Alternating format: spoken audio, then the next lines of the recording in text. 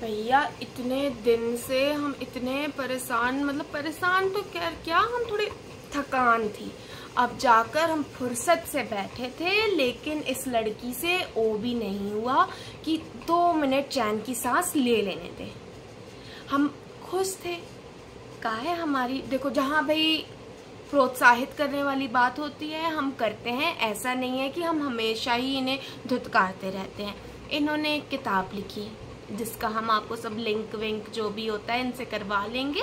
आप देखिएगा और ले लीजिएगा। और बहुत अच्छे द्रौपदी पर लिखी। भाई, हम बड़े प्रसन्न। लोगों ने तारीफ़ की तो भाई, एक माँ और कहा जाए? लेकिन भाई, इनके सर पर वो चीज़ चढ़ गई या का हो गया? घर पर इनसे ये नहीं होता कि एक ग्लास जगह पर रख दे प्लेट जगह पर रख दे, नहीं। बड़ी फिर ऑथर बनी फिरती हैं। भैया, जितनी तुम ऑथर बनो, चाहे राइटर बनो, घर पर तुम हमारी बेटी हो, ये घर हमारा है, तुम्हें हमारे हिसाब से चलना पड़ेगा।